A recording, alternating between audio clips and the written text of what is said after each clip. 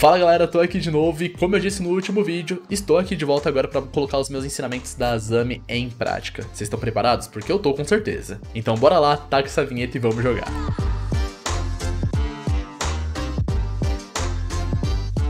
Bom, estamos aqui dentro do jogo e tem algumas observações muito importantes a fazer. Primeiro, não leve em consideração esse P2 aqui, isso daqui é um delírio social, isso daqui não existe, isso daqui não deve ser levado em consideração. E também a gente está utilizando o modo streamer aqui como uma das opções de privacidade da temporada. Isso daqui ainda não está liberado para todo mundo, mas para mim, eu consigo esconder aqui o meu nick, então eu estou usando o nick de Azami é top, por motivos óbvios. E dentro da partida meu nick vai aparecer como você, ao invés desse nick aqui que eu coloquei. E o nome dos outros jogadores eu tenho a opção de ocultar ou não. Então eu vou deixar desligado pra gente conseguir interagir e mostrar a Zami em prática. Então, vamos lá. E Glória, finalmente conseguimos encontrar uma partida rápida no mapa Favela. Demorou pra encontrar uma partida aqui na, na defesa pra gente mostrar a Zami, mas agora vai funcionar.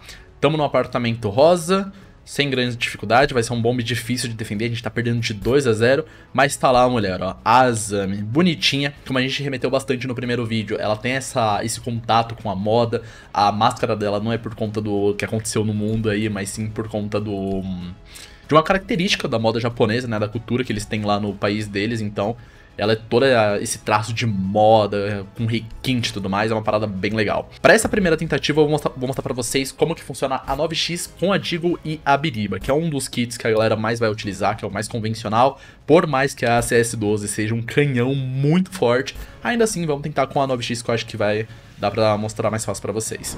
Então, ó, dentro da rodada, como eu expliquei pra vocês, uh, o modo streamer, ele oculta o meu nick, então eu tô aparecendo como você, mesmo com o meu nick estando a Zametop, como vocês viram lá no menu, e o nick de todos os jogadores da partida aparecem pra mim, mas eu consigo também ocultar pelo alfabeto fonético, se for necessário. Então vamos lá. Essa daqui é a barreira Kiba, né? As kunais especiais do Rainbow Six Siege, que se você ficar segurando por muito tempo, ela dá essa animaçãozinha aqui, badaras pra lá de legal.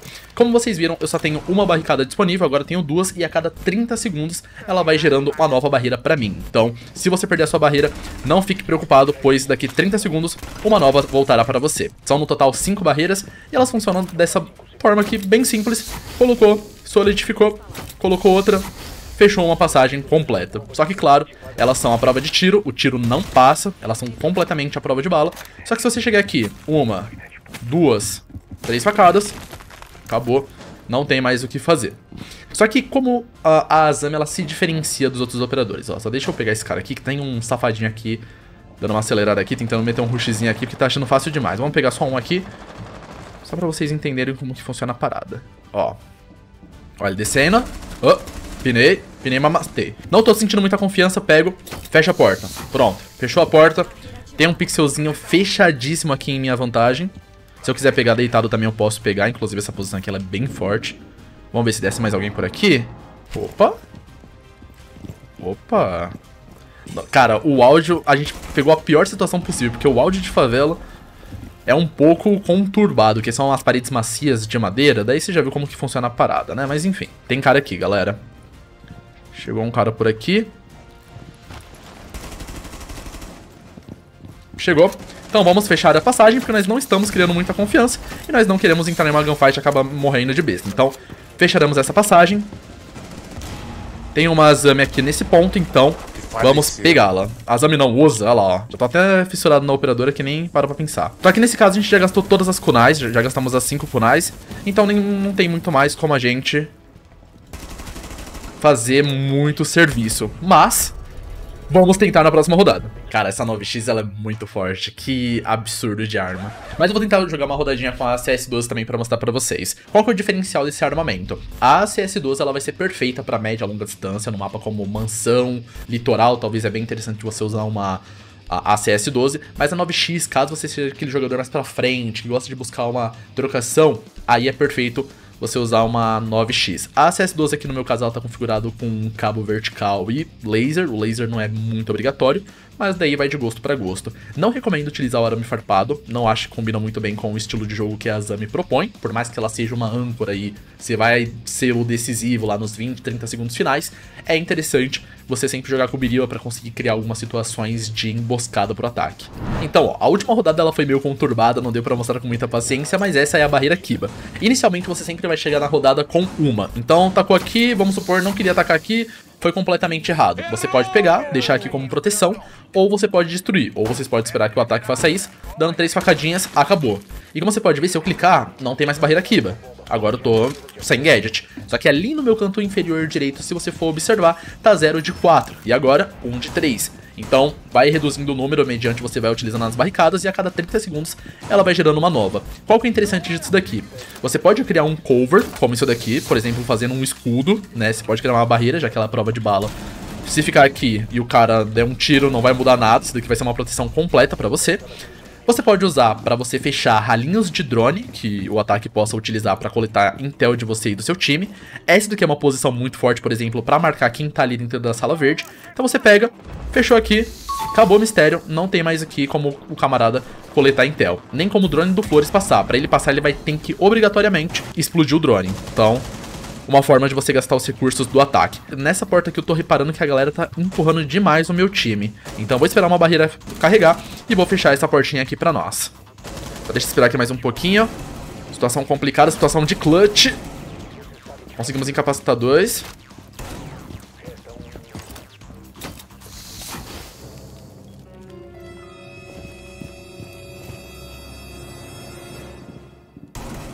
E deu certo.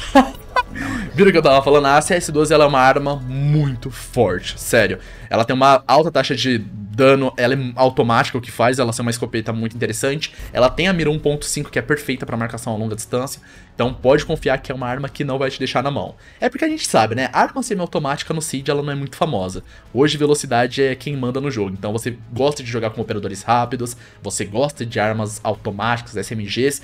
Então, nem sempre vai ser sua opção predileta, mas se você optar em utilizar, não vai te deixar na mão. Então, vamos tentar mais uma rodadinha de 9x. Vocês viram ali que deu pra fechar o ralinho de drone, então não tinha como os caras coletarem intel. Aqui na casual é um pouco mais acelerado, só que numa partida ranqueada, que é mais uh, cadenciado, que o pessoal drona, coleta intel, você vai tendo tempo suficiente para gerar as outras barreiras. E isso é muito interessante. Você tem que ficar cadenciando, não sair tacando tudo de primeiro momento, porque a Azami é muito decisiva no endgame. Salvar aqui. Então, vamos lá. Os counters. Como vocês viram, três porradinhas quebra, então é interessante você nunca deixar muito exposto. Então, por exemplo, vamos supor uh, abrir um pixel nessa parede aqui com uma carga de demolição. Você vai lá, pô, vamos fechar aqui, vamos fechar o pixel do ataque, que é para isso que a Zami serve. É uma ideia legal, mas isso daqui não, muitas das vezes não vai servir muito bem, porque o camarada vai chegar aqui, um, dois, três, acabou. Então, nunca utiliza a Azami muito pra frente. A ideia principal da Azami, pô, os caras abriram esse pixel aqui, vamos supor que isso é um paredão principal do bomb site. Você pega aqui, ó, coloca aqui uma barreira, certo? Coloca um pouquinho mais pra cima, se for o caso, e você corta a linha de visão. Você se protege do paredão, não fecha necessariamente ele, porque se abriram uma vez, eles vão abrir de novo, então é desperdício você gastar suas barreiras Kiba no meio disso. Então, aqui ó, abriu uma vez, coloca linhas de visão, uh, coloca barreiras que quebrem essa linha de visão que o ataque vai ter. Isso daqui é muito forte com a Zami. Sério, muito forte. Vamos tentar fazer uma play mais agressiva?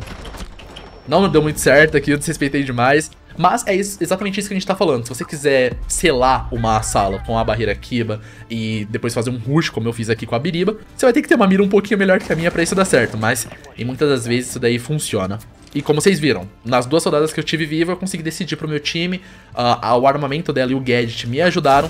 E aqui no caso, agora meu time tá sozinho, agora não deu certo. Então, Mantenha a sua Azami viva até o endgame, que isso vai ser muito importante, pode ter certeza. Derrota no nosso mapa, né, cara? Que tristeza.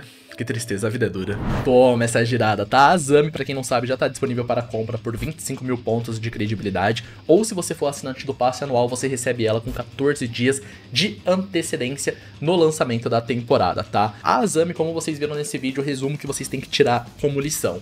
Criatividade vai ser a base para você jogar de Azami. Para você fechar um pixel, para você fechar um ralinho de drone, um teto que foi aberto, algum alçapão, paredão. Pode ser que a play não seja tão eficaz se você fazer uma barreira muito exposta para o ataque, mas novamente, a criatividade vai ser a chave mãe para você jogar de Azami. Espero que vocês tenham curtido esse vídeo, se vocês curtiram, deixa um like show aí para apoiar o canal aqui da Ubisoft Brasil. Se inscreve se você ainda não foi inscrito para continuar recebendo mais conteúdos aqui do Rainbow Six Siege, principalmente. E, por enquanto, é isso. Muito obrigado pelo convite, Ubisoft Brasil, e espero que vocês tenham gostado do vídeo. Um beijo e até a próxima, galera.